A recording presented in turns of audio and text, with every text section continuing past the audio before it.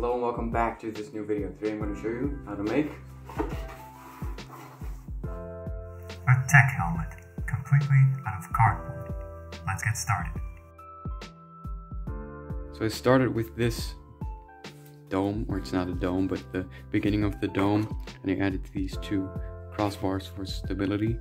And this strip is a lot thinner than on my other helmets, these helmets, uh, because if you look right here, you can see that Tech's helmet like almost is curved the entire way all the way to there. You can also see it this picture. I got these this image I got from Galactic Armory by the way and this I just found online on the Star Wars website. So that's why it's a bit thinner because yeah then I it'll look better uh, with this almost like continuous curve. So now I'm gonna work on those earpieces right here and after that's finished I am going to start with the face piece.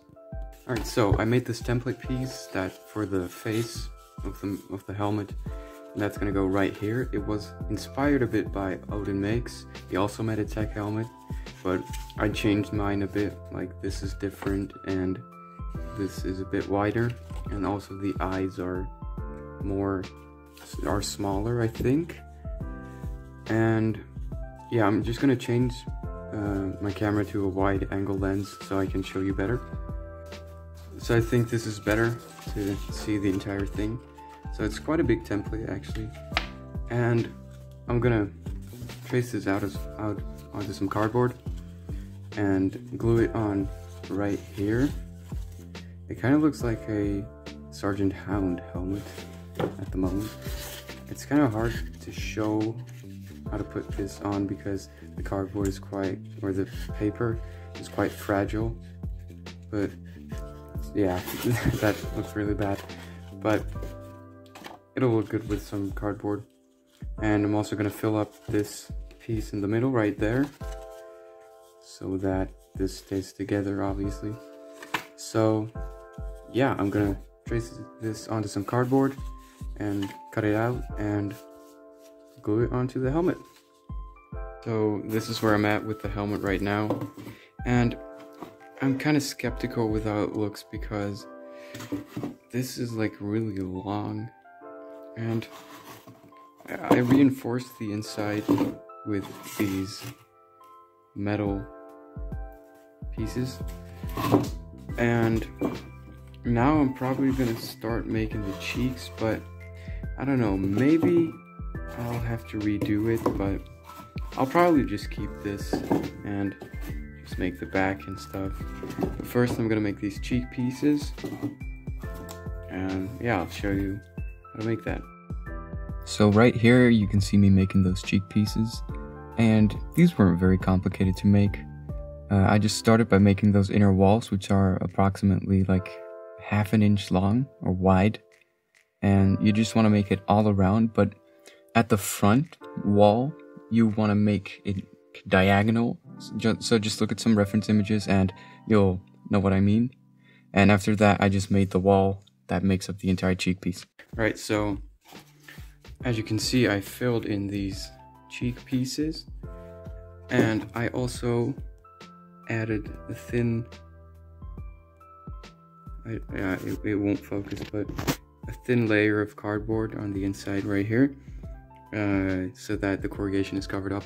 And I'm probably also going to do that here on this part, but maybe I'll add another layer of cardboard right here because on the reference images it's also a bit thicker than this also right here.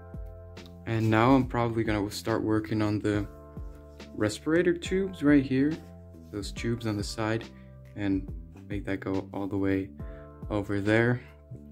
And maybe I'll add this strip that goes all the way like this. So yeah, I'm gonna show you how to make those tubes right now. So we have this piece right here for the tube that's gonna go on the side. And I'm kinda gonna show you how I made it right now. So first thing you're gonna do is bend this piece. So now we have this shape and this doesn't really look like a circle. Well, it's a circle, but it's more like a pear or not a pear, but an oval shape. So what I'm gonna do is um, get my a compass, compass, and make a circle that is the same diameter as the inside of this so that we can create like a good circle. So now that we have the circle in this tube, this can actually fit perfectly inside of here and we just need to push it back a little bit, not too much because there's going to be an, another detail on top of this.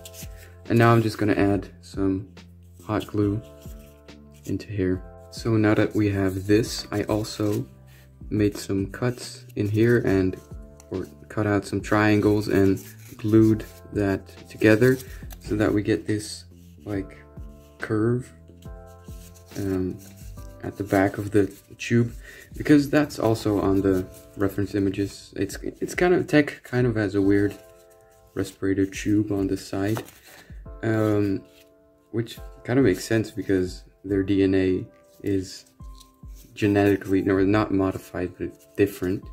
So now I'm gonna make that circle that goes on top of this and then I'm gonna glue it onto the helmet itself. Okay, so I finally have both the respirator tubes on here. Finally, after a pretty long time, because these tubes have a weird shape because it was kind of hard to make. Well, at the end, not when I finally found out how to make this really easy. I'm not really happy without there's some hot glue visible there, but I think that will not be very noticeable later on. Uh, so now I'm gonna make these the detail pieces that go in right here and then I'm gonna make the the side piece that connects the cheek to the tube onto the ear. So yeah I'm gonna show you how to make that right now. Oh before I forget I also made these pieces that will go right here. And this piece I have to remake this because I was just looking at some reference images and it turns out that this is wrong. This needs to have an angle like going up right there. This one is correct, so that will go there. I covered up all the corrugation. So yeah, let's make the detailed pieces in the respiratory tubes. So right here you can see the front of the helmet and these pieces are just gonna go right here. And then these two are going to go right here and right there. This is not very straight, but it will be once we glue it on. And I'm not going to glue these on right now because these are a bit of a different color than the rest of this. So it will be easier to, to just paint these separately and then glue them on because otherwise I need to mask these off. And same goes for this. So I'm just going to paint these uh, separately and glue them on after. So what I'm making right here are those tube pieces that go on the side, or the tubes that go on the side. And how I made this was, I had three pieces, one on the top, one on the side, and one on the bottom.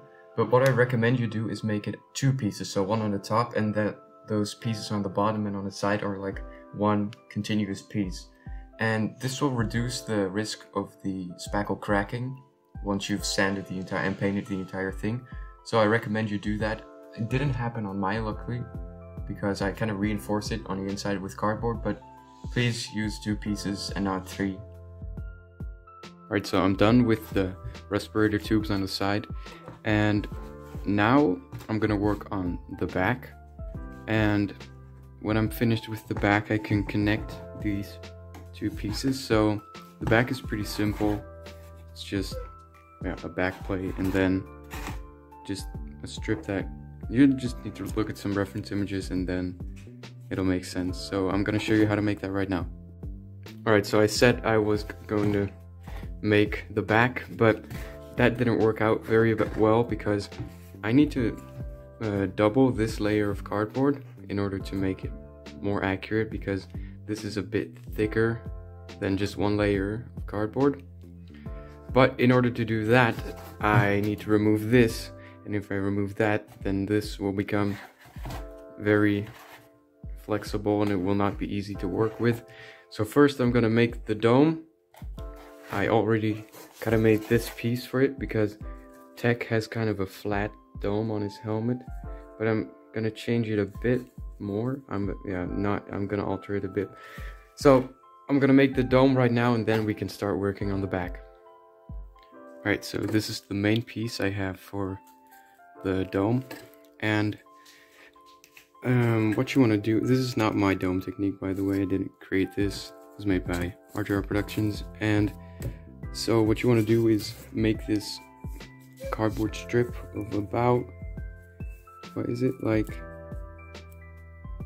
a little bit more than 6 centimeters. Like I think it's 6.2 centimeters, which, which is about two and a half inches, I think, and about one centimeter or six millimeter millimeters inwards. I think that's a half inch.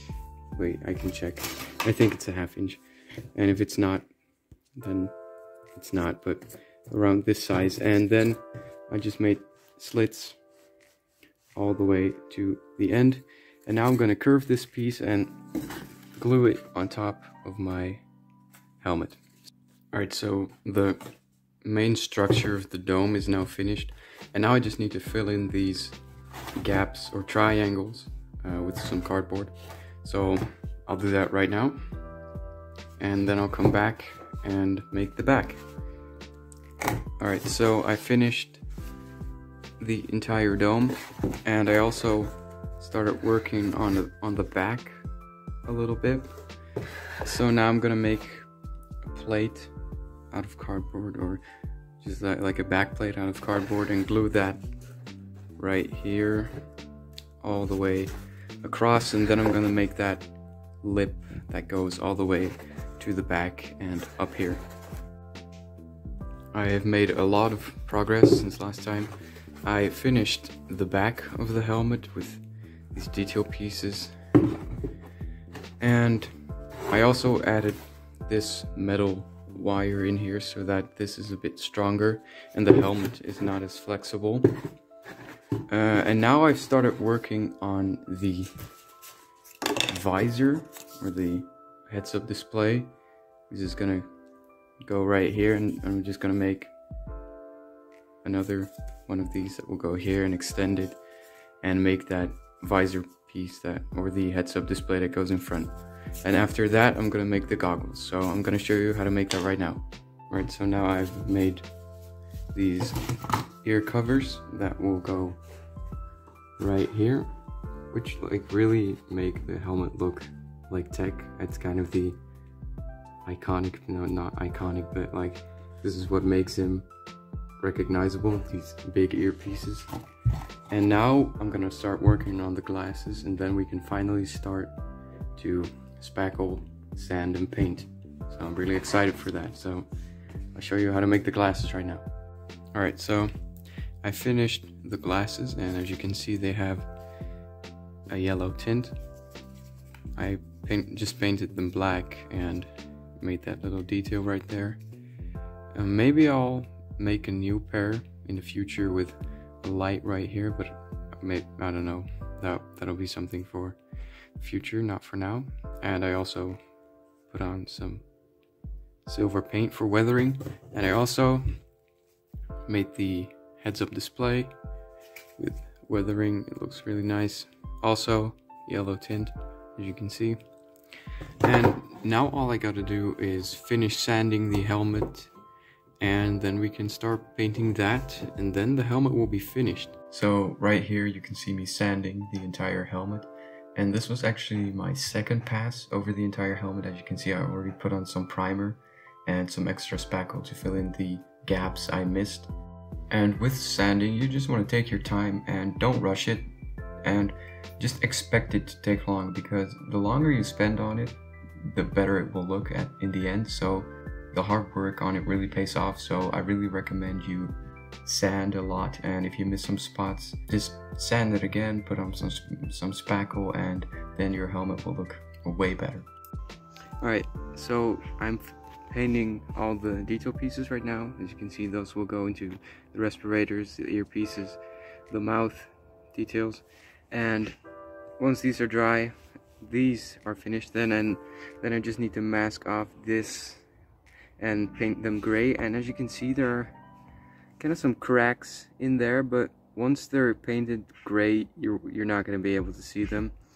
So yeah I'm, I was kind of worried about that happening but maybe if you make these reinforce them with a bit more glue on the inside and then you'll be good. So these are going to dry right now and then I'm going to paint the helmet.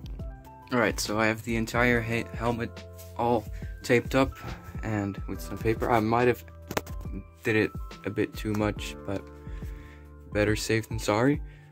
So um, now I'm gonna give you a tip for getting those smooth edges. Before I'm gonna spray paint this with uh, gray I'm actually gonna paint another layer of a thin layer of white all, all around all around these edges uh, so that the tape is kind of sealed off and after that's dry I can do the uh, gray. And then we'll get those smooth lines. Alright so I'm done with painting the entire helmet. As you can see there are some small imperfections and that was due to some of the tape being a bit like having those little bumps but I can just fix that with a little white paint so I'm not gonna worry about that. So now I'm just gonna glue in these details right here and um, then we can weather it with all those paint chipping effects and stuff. And then we can glue on the earpieces and the heads-up display and the goggles. And then we'll be done. Alright so I finished making this paint chip effect around the entire helmet. And I also made these little skulls on the earpieces. I also weathered these as you can see. And how I did that was I just made this little template piece and I put it on here, taped around it and also like right there. And did the same for the lightning bolts. And I just painted it with some white paint. And I did the same for the black lines right here that make up like the actual skull. And I did that two times. And right now I'm gonna assemble the entire helmet. And then we can I, I'll show you what it looks like when it's assembled entirely. So I'm gonna do that right now and then you'll see the finished product product in a few seconds. So let's go